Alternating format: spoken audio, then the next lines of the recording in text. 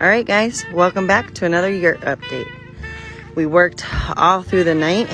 As you can see, the sun is coming up. And we got the bottom liner on, the top silver um, insulation there. And now we're working on our top heavy, heavy top cover.